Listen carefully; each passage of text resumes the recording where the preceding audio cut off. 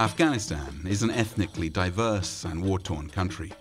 This and its lack of infrastructure means that remote communities have long been isolated from the modern world.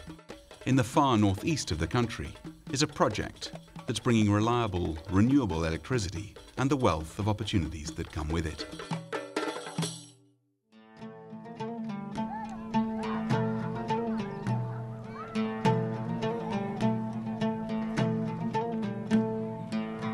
Rush hour in Badakhshan, one of the least developed corners of one of the least developed countries in the world.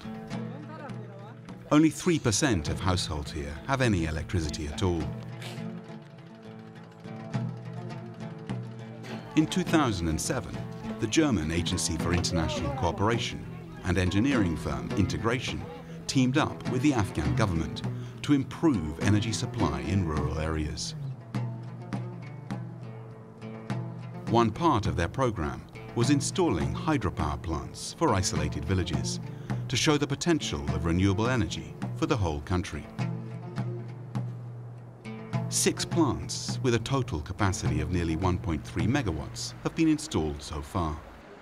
We're here in a side valley of the Kokcha River, where there's a road and a bazaar. We believe that in this environment, you can do a lot for rural development by providing electricity. Badakhshan is a tough place for any development project. Though far from Afghanistan's main conflict zones, corruption is endemic and society is divided along rigid ethnic lines. Before work on a hydro plant could even begin, roads had to be improved and built from scratch in some places so that turbines and other equipment could be brought in. As much as possible was built on site. The program trained local workers and employed them to build canals and poles for power cables. Some communities refused to work together, so they were given different roles, working apart, though towards a common goal. Other skills were needed too, electricians to connect shops and houses to the new grid, and engineers to keep the turbines running smoothly.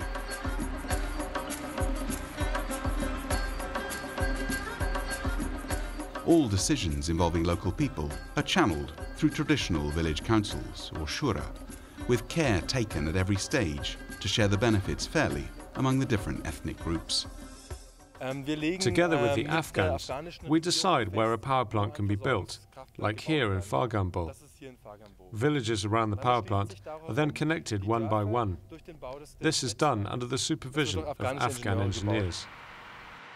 Each plant is run by a leaseholder who's responsible for the operation and maintenance of the power plant and the distribution of electricity.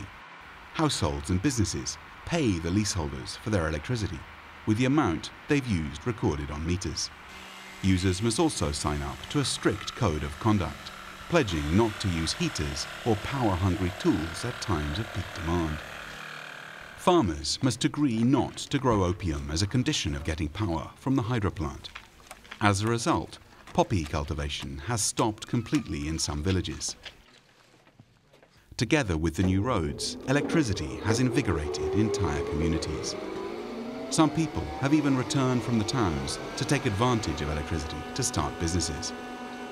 Since 2008, electricity has come to 110 public buildings, 640 businesses, and benefited 63,000 people.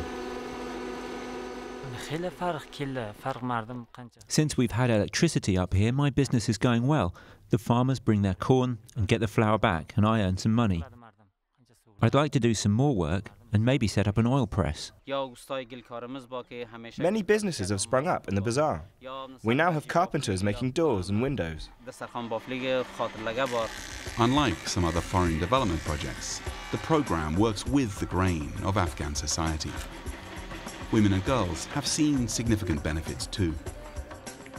With TV and radio making women feel less isolated and providing knowledge of the wider world, as well as specific information such as helplines for victims of domestic violence.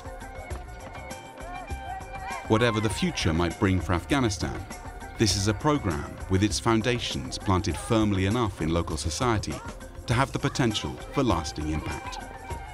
Uh, the German government and others will continue this approach, and it's hoped more power plants will be developed. How that will be done is currently being decided, but there is long-term planning of power plants for rural development. I can't say how much will be realized, but I hope it's a lot. Electricity will lead to a social transformation. I am absolutely sure electricity will make people's life easier and much more pleasant. جدید بلکه زندگی مردم به یک زندگی جدید به یک عصر جدید شاید که بدل کنه